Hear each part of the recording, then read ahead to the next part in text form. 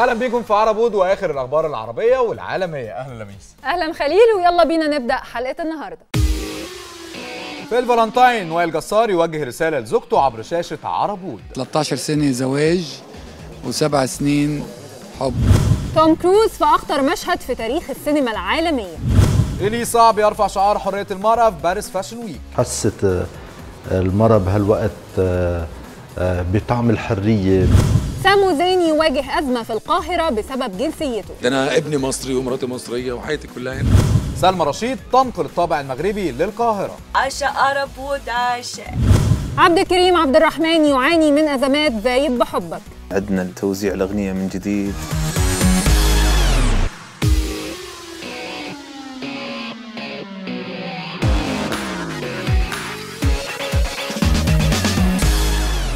أهلا بيكم وكل سنة وأنتم طيبين. النهارده الفالنتاين وحلقتنا النهارده مرتبطة بالمناسبة دي. وهنبداها من القاهرة مع المغربية سلمى رشيد اللي رغم إنها بتغني أغنيتها الجديدة باللهجة المغربية الا أنها قررت تصويرها في القاهرة. وكمان بفريق تصوير مصري بالكامل. ومن الواضح إن سلمى كانت سيدة القرار في الكليب ده خاصة إن هي اللي بتنتجه لنفسها. خلونا نشوف كواليس الكليب مع سلمى في التقرير اللي جاي. عرب وود انت الباشا ليك هيبة وشان عشاء عربود عشاء سلمى رشيد في مصر لتصوير أحدث كليباتها. كنا معاها في الكواليس واكتشفنا إنها نقلت الثقافة المغربية إلى القاهرة. أنا جدا كنستمتع بهذا البرنامج الرائع وشكرا لتواجدكم معي اليوم لتصوير كواليس كليب الجديد بعنوان الجيدير. اليوم عملوا لي اليوم عربود عملوا لي باباراتزي أنا ما كنتش عارفة أنهم موجودين معي في التصوير. يعني أخذت راحتي. وعن تكرار التعاون مع المخرج العراقي إيهاب الراشد. إحنا كبنات بعيد عن أنك فنانة يعني كتخاف على على صورتك على هذا ف يعني ما حبيتش نغامر خصوصا في الكليب ده لأنه يعني غيكون إنتاج قوي قوي قوي عليه. يعني حبيت نتعامل مع شخص أنا كنثق فيه اللي هو إيهاب الراشد. أنا قلبي دليلي قال لي تحبني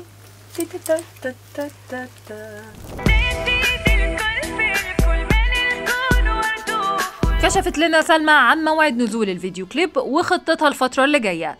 ولأول مرة غنت الأغنية exclusive لعرب وود إن شاء الله الكليب الأول غادي ينزل يا إما في أواخر شهر اثنين أو أوائل شهر ثلاثة. اخترنا هذه الفترة بالضبط لأن غنكون آه، حابة نكون يعني في فترة نزول الكليب يعني متفرغة لل- للأغنية والكليب أكثر لأن بعده عندي إن شاء الله جولة في, كندا وقبل كذلك عندي حفلات في, الخليج وفي المغرب.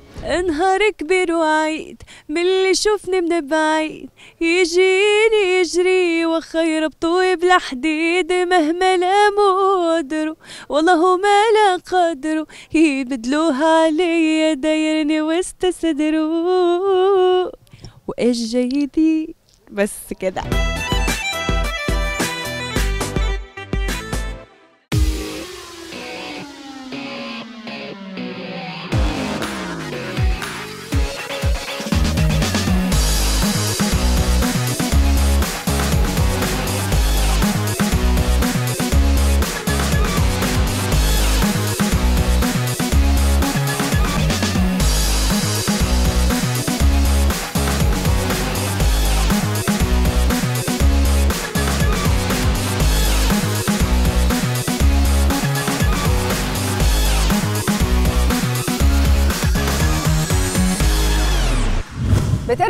سيلينا جوميز للسينما مرة تانية من خلال فيلم الخيال الكوميدي The Voyage of Doctor Dolittle وده عن رواية دكتور دوليتل اللي صدرت عام 1920 لكن هل هيتقدم الفيلم في نفس الفترة الزمنية ولا لأ؟ ده اللي مش عارفينه.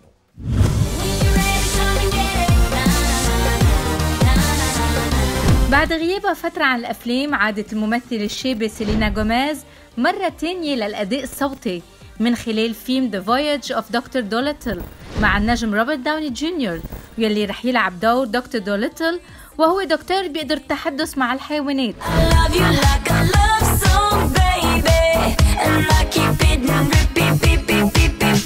والفيلم من إنتاج مشترك بين زوجة داوني سوزان داوني وشركة يونيفرسال بيكتشرز ومن إخراج ستيفن جاجان ومن المقرر أنه يتم البدء بالتصوير خلال شهر فبراير الجاري بالعاصمة البريطانية لندن I'm not afraid of you.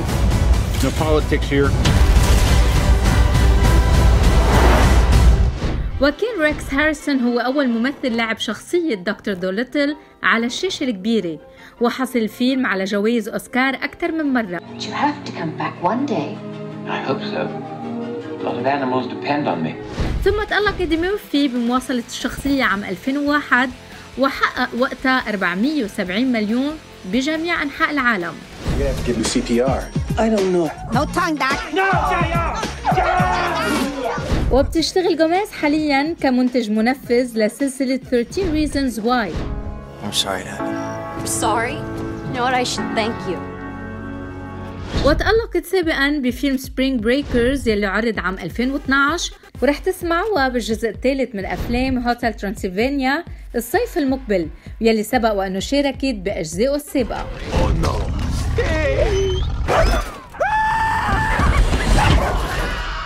I need a break. بعد الفاصل. توم كروز يفاجئ جمهوره أزمة جديدة لنقابة الموسيقيين المصرية مع سامو زين. أنت عندك مشكلة تروح تروح على لجنة العمل كلها كاملة؟ رحت على اللجنة كلها. بلال العربي يستعرض أحدث تصميمات إيدي صعب لربيع وصيف 2018 أخذوا الحياة بمظهر تاني بطريقة لبس تاني.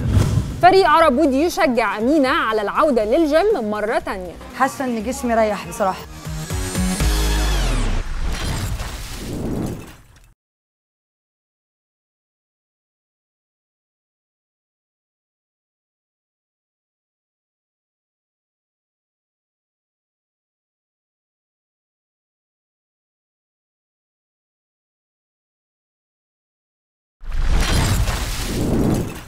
بنرجع تاني للقاهرة مع المطرب السعودي عبد الكريم عبد الرحمن واللي انتهى من تسجيل أحدث أغانيه دايب بحبك. الأغنية سجلها في القاهرة وما كانتش دي المرة الأولى لتسجيلها لأن واجهته صعوبات كتير هنعرفها منه في اللقاء اللي جاي.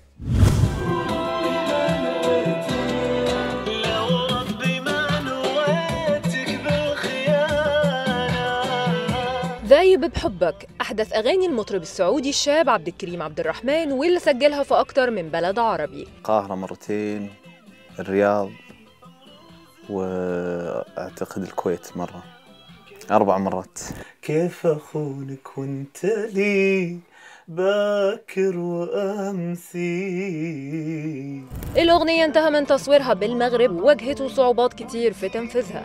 عانينا فيها شوي يعني من ناحية التسجيل بعدين وقفنا العمل فترة بعدين رجعنا عدنا توزيع الأغنية من جديد. أسأل الله يعني أن هالتعب كل هذا يتكلل بالنجاح ويعجب الناس إن شاء الله. رب يلعن الفرقة أنا وحشني عناقة أصدر مع بدايات العام الجاري أغنية يلعن الفرقة فما أصدقها. الحمد لله جاني فيدباك كويس. هو عمل أيضا هذا عمل آه، جميل خفيف آه، ما كنا متكلفين عليه كثير ويعني تقريبا العمل خلصناه في في عشر أيام إلى أسبوعين. برغم اعتزازه باللهجة الخليجية إلا أنه هناك لهجة يحرص على الغناء بها. وأنا حريص أني يعني هالبلد الكريم أني أشتغل لو نص أعمالي مصر يعني صدق يعني أنا ما أجامل آه، مصر وأهل مصر الناس الفنانين في مصر وقفوا معي كثير كثير جدا فحريص أني أنا أكون يعني أول لهجة أغنيها اللي هي اللهجة المصرية إن شاء الله. وحبه لمصر خلاه يدندن أثناء التصوير بأغنية لتامر حسني. بعد بتوحشني حبيبي طب قول لي ده يبقى إيه عبد الكريم من أنصار تقديم أغانيه بشكل سنجل وبيرفض تماما فكرة تقديم ألبوم كامل. ألبوم مكلف ماديا ويحتاج جهد جهد آه، فني وبدني نفسي آه، معنوي ما هو سهل. يعني أتكلم على الفنانين الكبار فما بالك فنان تو بادي. فكرة الألبوم ما عاد صارت يعني تجدي نفعا. وانت فيني دنيتي عمره زمانه. كيف يرى موقعه في المنافسة بين أبناء جيله ما ما دخلت المجال منافسة ح- أحاول إني أصنع كارير لي آه، اسم لي آه، الناس تذكر عبد الكريم كفنان كويس. بنتمنى لعبد الكريم عبد الرحمن نجاح أغنيته وإنه يحقق مبتغاه ويصنع لنفسه اسم كبير. أخون الشوق كيف أنساها أنا؟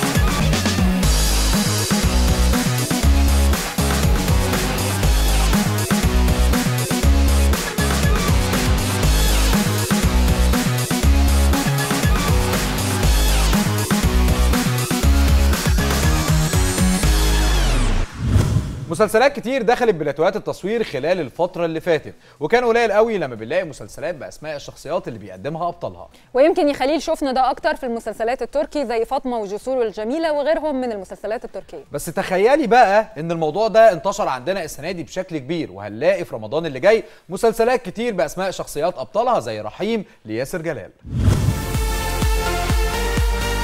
عمرو يوسف ياسر جلال مصطفى شعبان عمرو سعد وأحمد عز. كلهم نجوم اتخذوا الطريق الأسهل لاختيار أسماء مسلسلاتهم. حكاية ناس وبلد. طايع. هو ده اسم مسلسل عمرو يوسف الجديد واسم الشخصية الصعيدية اللي بيقدمها في العمل. وده بعد ما قدم في رمضان الماضي مسلسل عشم إبليس. أحسن برضه. وهو ده اللي أنا كنت جاي علشان أما ياسر جلال فهيقدم في رمضان القادم مسلسل رحيم وبيشاركوا البطولة محمد رياض ونور. رحيم هو تاني بطولات ياسر جلال الدرامية بعد مسلسل ظل الرئيس في رمضان 2017 أنا لو مشيت ورا إحساس يا سلمى هيبقى فيها دم. مسلسل عمرو سعد كان بعنوان آخرة صبري لكنه قبل التصوير قرر تغيير اسمه لبركة. وبيراهن عمرو على نجاح العمل بشكل يماثل مسلسل يونس ولا تفضى خصوصا بعد عدم تحقيق مسلسله وضع أمني نسبة مشاهدة عالية وحياة ربنا أنت بقيتي عاملة زي مرات حنفي مين حنفي ده؟ مرات جورج سيدهم في متزوجون. وعلى نفس الطريقة بيشارك مصطفى شعبان في السباق الرمضاني بمسلسل أيوب. المسلسل بيتعاون فيه مع آيتن عامر محمد لطفي وهنا الزاهد. واللي شاركته قبل كده في بطولة مسلسل مولانا العاشق في رمضان 2015 القلب المسكون بالعشق بيرتاح اما يسامح إنما يموت لو رجع. وبعد غياب من آخر مسلسل قدمه هو الإكسلانس بيرجع النجم أحمد عز في رمضان السنة دي بمسلسل أبو عمر المصري. صحيح اسم الشخصية اللي بيقدمها هو فخر الدين لكنه داخل أحداث العمل بيجسد شخصية أب لطفل اسمه عمر وهو اللقب اللي تم اختياره عنوان للمسلسل. ويظهر إن الموضوع كان له تأثير على عز مش بس في الدراما لكن كمان في السينما. فهنلاقي إن فيلمه الجديد بيحمل اسم يونس وهو العمل السينمائي الأول لعز بعد فيلمه الأخير الخلية واللي حقق نجاح كبير. جاهزين ولا إيه؟ القائمة دي كانت كمان بتتضمن محمد رمضان بمسلسله الجديد زين لكن رمضان قرر تغيير اسم المسلسل عشان يكون نسر الصعيد. العيال بتعمل مصايب وبيطلع عين أبونا عشان نجيبهم. وبيطلعوا من المحكمة يعملوا مصايب أكبر وبنطلع نجيب نفس الناس. أنا اللي هقول لجنابك ولا إيه؟ أيوب طايع بركة رحيم وأبو عمر المصري شخصيات كتير هنشوف مين فيهم اللي هيقدر يكسب الرهان في رمضان اللي جاي.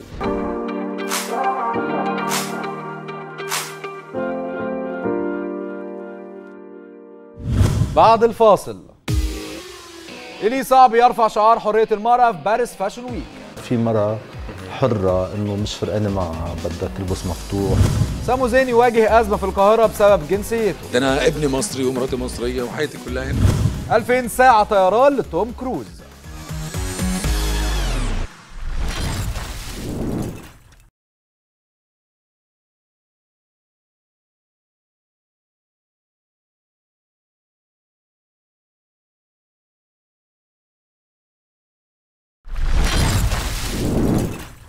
بنرجع للقاهرة تاني مع ساموزين واللي بيعيش حالة من النشاط الفني خاصة على مستوى الحفلات لكنه للأسف اتعرض لأزمة مع نقابة الموسيقيين خلال الأيام اللي فاتت بسبب رسوم حفلاته في القاهرة. قابلنا ساموزين في ندوته بجريدة البوابة نيوز وفي لقائنا معاه كلمنا عن حاجات كتير كان أهمها تفاصيل الأزمة الأخيرة مع النقابة وكمان كل جديد عنه.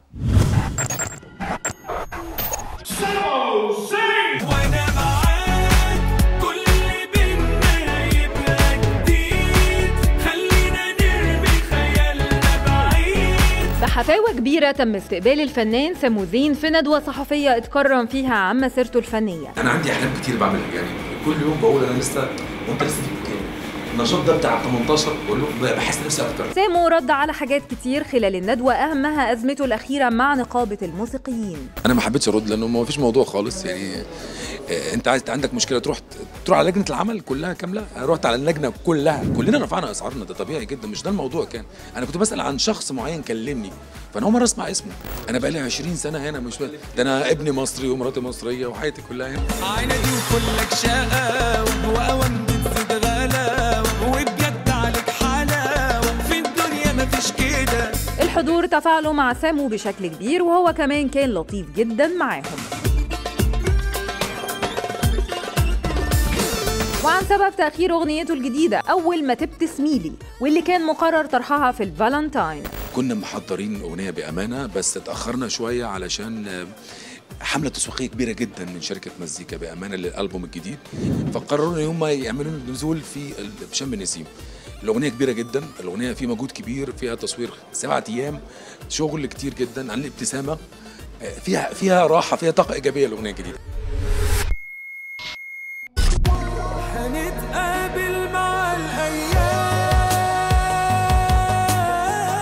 وكشف عن آخر ألبوم غنائي في مشواره الفني. ناس كتير قوي اشتغلت في الألبوم ده بأمانة. الناس كلهم تعبوا. تسع أغاني هيكون في الألبوم ده وده الختام للألبومات كلها الموسيقية ليا. أنا كنت عايز أختم من السنة اللي فاتت مش هعمل ألبومات تاني. هو ده آخر ألبوم هشتغله. فكرة الألبوم دلوقتي بقت صعبة قوي للفنان. بقت فكرة مجهود سنتين شغل تعب. وبيستعد لبطولة فيلم جديد. خلال شهر إن شاء الله هنصور تحت المطر. إخراج عبد العزيز حشاد إن شاء الله وهيثم وحيد. كتابته محمد حسن إنتاج. آه الفيلم ده مهم بالنسبة لي قوي لأنه بيتكلم عن شخصية comic ورومانسي جدا وشخصية جديدة أنا هقدمها لأول مرة. آه يمكن هو ده الأسباب ان أنا بعمل look جديد ده خالص أنا في look جديد بقدمه. فكرة رومانسية الفيلم هيتصور ثلاث أيام هنا والباقي كله هيبقى بين في البوسنة وهولندا.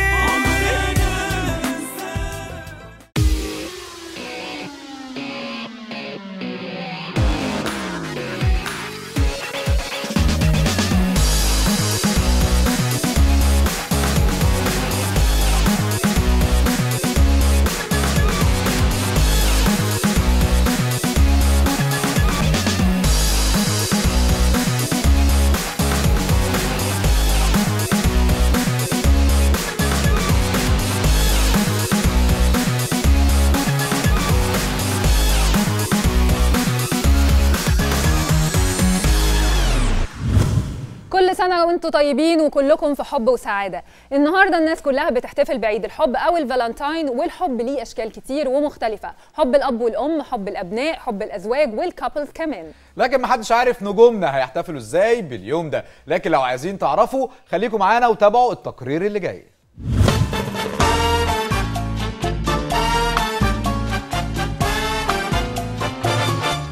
طرق احتفالهم بعيد الحب بتختلف لكن النجم الرومانسي وائل جسار الفالنتاين بالنسبة له ذكرى مهمة جدا. تعرفنا على بعض بالفالنتاين فصار لنا 20 سنة مع بعض. لا 13 سنة زواج وسبع سنين حب. بحبك حبي مش عادي مشاعري من زمن وبمناسبة الفالنتاين زوجته أهدته من خلالنا وردة حمراء. بشكر الله على محبتنا لبعض.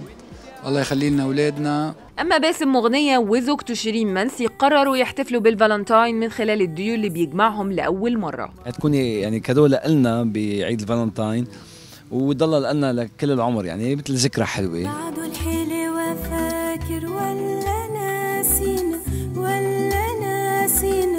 مر ببالي خاطر أنسى ما في مثل ما.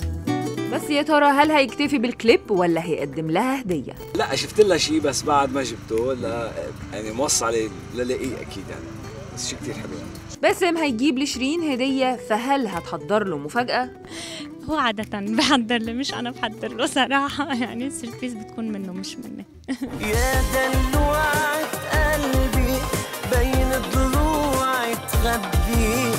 أما ناجي قسطة فما بيستناش عيد الحب اللي يعبر لزوجته عن حبه ليها أنا ما بنطر هيدا هيدا الليلة أو هيدا النهار تقضيها أنا وأنا ومرتي. يعني على طول نحن بأيام عشق وغرام و- ويعني كل ما يكون عندي وقت أنا بحب يكون في عندي نهار أنا وياها. أكيد نهار الأربعاء أنا رح اكون بلبنان ورح اكون أنا وياها يعني بشي محل هيك رايق برايفت رومانسي أكيد. رحمة بمجرد ما سألناها عن عيد الحب ده كان ردها. لا. لا مش يعني ممكن أجيب هدية لحد ممكن أجيب هدية لأختي حد من صحباتي أخرج كده آه، بس مش مستنية هدية من حد. نبيل عيسى هديته في الفالنتاين بتكون دايما مختلفة. أنا بجيب زرع على طول. أنا بحب الزرع أصلي ف بجيب شجر بقى وزرع والحاجات دي. خلاص انت ملكتيني لآخر عمري وسنين. المطرب محمد نور ما قررش لحد دلوقتي هيجيب هدية لزوجته. والله مش عارف بقى ممكن أجيب أي ساعة بتاع حاجة كده يعني نشوف كده. يعني. أما المطربة مروة نصر فعندها للحب فلسفة خاصة جدا. يعني الحب مش مش محتاج يوم معين عشان أنا أحتفل بيه بالنسبة لي. أنا فيك قوي الناس اللي بتحتفل في اليوم ده وتنزل من النجمة تجيب ورد وتشحتف نفسك. ليه؟ طيب وتاني يوم تنكد عليها.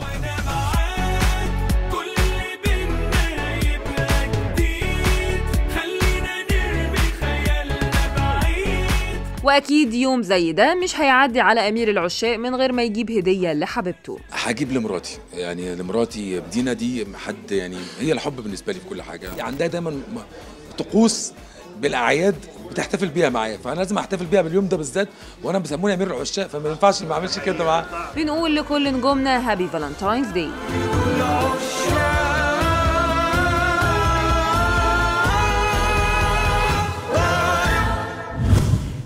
مرة في تاريخ السينما العالمية بنشوف نجم بيسوق طيارة بنفسه. أكيد يا لميس بنتكلم عن توم كروز اللي لما قرر يغامر ويعمل كده كان عنده هدف معين وأظن إنه بيقول للجميع إنه رغم سنه الكبير إلا إنه لسه نجم الأكشن اللي قادر يعمل أي حاجة في أي وقت.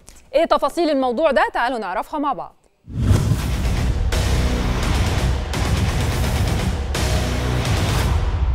يعشق النجم توم كروز المغامرة ليس في أفلامه فقط بل في الحقيقة أيضا. فهو من القلائل في هوليوود الذين يقومون بأداء مشاهد أفلامهم الخطيرة والتي تحتوي على الكثير من المجازفة دون الاستعانة بدوبلير.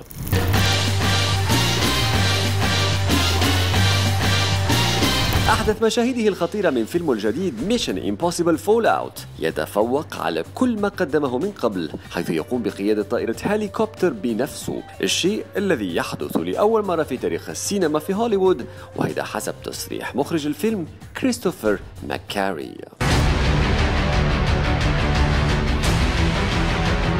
نشر توم على حسابه على تويتر تغريدة كتب فيها لطالما أردت أن أقوم بهذا إليكم نظرة على حيلة الطائرة المروحية من فيلم Mission Impossible ونشر فيديو يظهر طريقة تدريب وتقنيات التصوير التي اعتمدت لهذه المشاهد.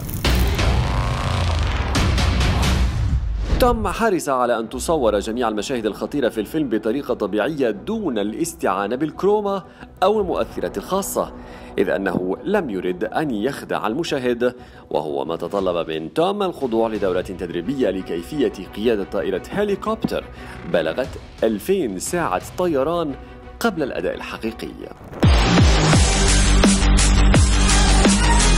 فريق العمل اتبع إجراءات سلامة صارمة حيث كان يجتمع الطيارون كل صباح لمناقشة مواقعهم المحددة لكل مشهد.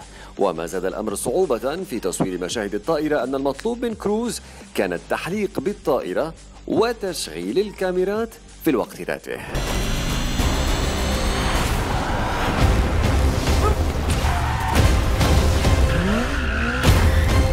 هذه المشاهد الخطرة ليست الأولى التي يقوم بها توم كروز حيث قام بالجزء الرابع من نفس السلسلة بالسير على مبنى برج خليفة من الخارج. كما قام بالوقوف على جناح طائرة أثناء إقلاعها في الجو وهذا كان في الجزء الخامس وهو ما عرضه للإصابة أكثر من مرة. كان آخرها كسر قدمه أثناء قفزه من أعلى بناية وهو يصور نفس الجزء.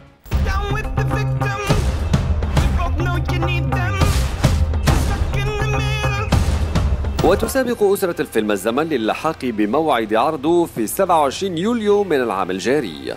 فهل سيحقق الجزء الجديد نفس نجاح الأجزاء السابقة؟ Let's wait and see. And good luck Tom.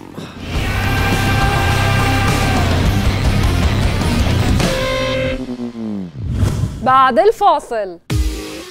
أمينة تستعيد رشقتها مجددا. أركب الحنطور ديريجند بلال العربي يستعرض أحدث تصميمات إلي صعب لربيع وصيف 2018 لمعة لتجسد معنى الفرح.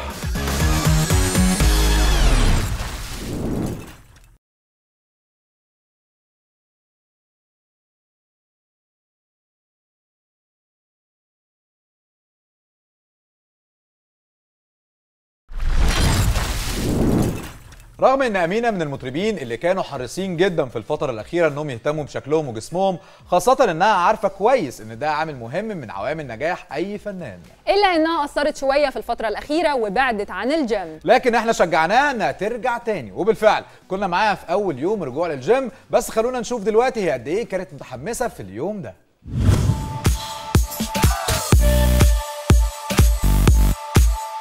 اهتمام أمينة بالرياضة بدأ من زمان جدا. كنت بلعب كرة طايرة volley وكنت بلعب كونغ فو. في شوية حاجات لسه فاكراها تقريبا لسه يعني دي كنت مشهورة بيها قوي. مش كل يوم هو ال maximum إن إحنا بنشتغل على الرياضة بنلعب مثلا ثلاث أيام في الأسبوع. إنما ثلاث شهور وأرجع تاني دي حاسة إن جسمي ريح بصراحة. مع شوية حركات الدنيا بتعدي. الدنيا بتعدي برضه. أمينة عندها أسبابها للاهتمام ده. بحب بيونسي. آه، بحب جينيفر لوبيز. آه، بحب هالي بيري. بحب آه، طبعا ريانا من غير كلام يعني. وكلهم ما شاء الله ما ما بيقعدوش يعني من الرياضة خالص. طبعا أنا بحاول نبقى زيهم. بص بقى الحركة دي جديدة. اتفرجوا على ماجنجر هنا.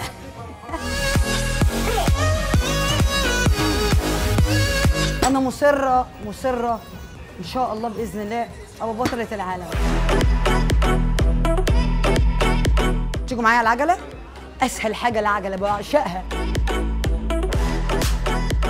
وعلى العكس أمينة بتشوف إن قليل من النجوم العرب اللي بيهتموا بالرياضة. ما أعتقدش إن في ناس كتير يعني هو بس ياسمين صبري لأنها أصلا سباحة يعني هي اللي بتلفت نظري صراحة. الولادة ما أثرتش عليا جسمانيا قد ما في الفترة الأولانية أثرت عليا نفسيا. في الأول افتكرت ال 12 كيلو اللي أنا زدتهم آه، مش هينزلوا ده في أول ولادة. وبعدين لما الحمد لله ربنا كرمني بعد الولادة الأولانية و... وقدرت أنزلهم آه، كنت حاسه باستقبال عادي جدا للولادة الثانية وإن أنا برضو هنزلهم إن شاء الله والحمد لله.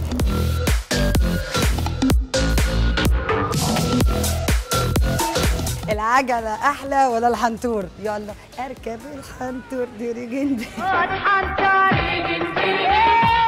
والله هي العجلة عشان في يعني الترينر بتاعي إنما الحنطور طبعا بيأكلنا عيش. لا طبعا ال- الحنطور ده رزقتي.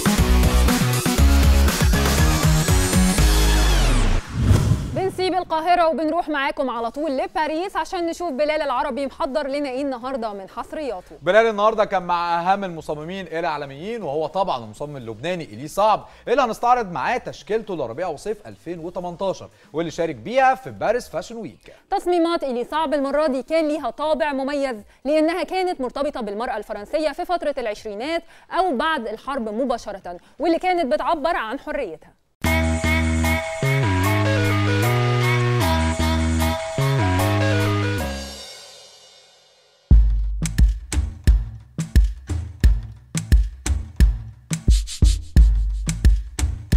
Monsieur Eli, bonjour. Bonjour. شو الاخبار؟ أهلا وسهلا كله good. ألو موعد جديد لل couture الربيع والصيف ل 2018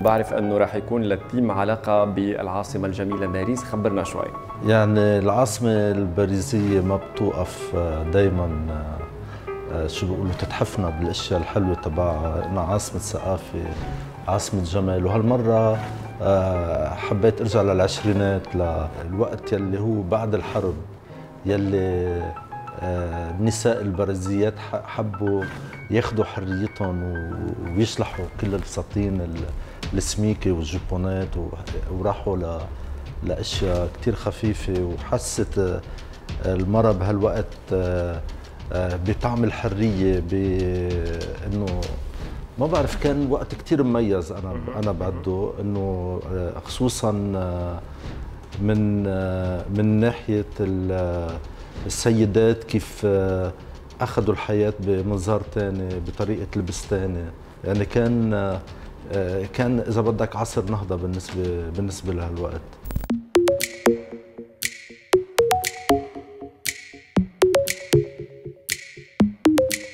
woke up with a fear this morning But I can taste you on the tip of my tongue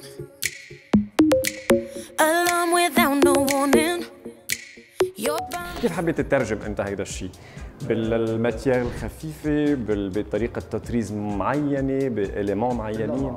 باللمعة أكيد إنه ال- الأشياء كتير شفافة كتير خفيفة. اللمعة لتجسد معنى ال- الفرح إذا بدك.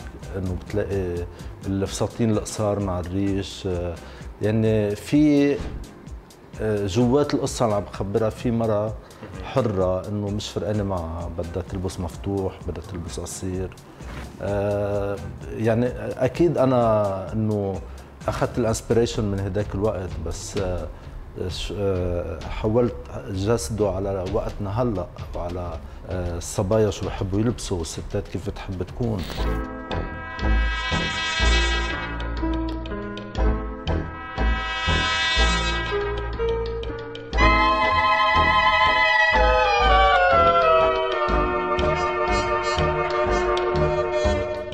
جو كباريه باريزي راقي إنه بيلتقوا فيه كل ال- ال- العيال إنه هيك بتحس إنه بدك تحس هال هال هالجو.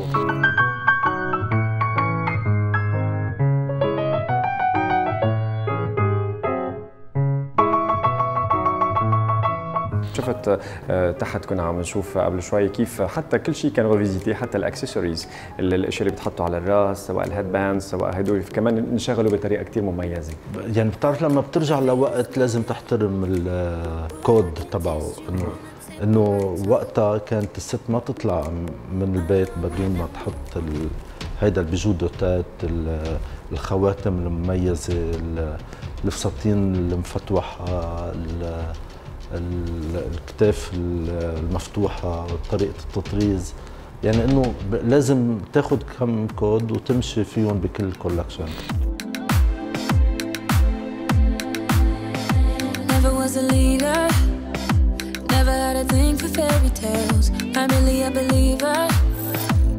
uh-huh.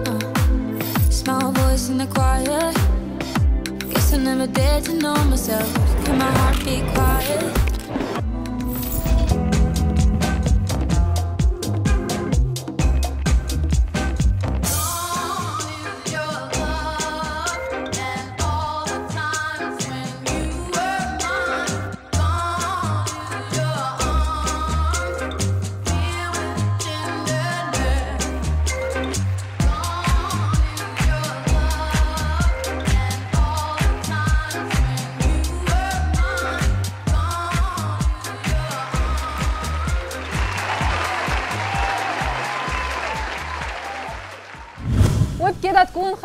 النهارده. وما تنسوش تتواصلوا معانا على حساباتنا على ال social media أو روتانا dot net شكرا للمتابعة واستنونا بكرة.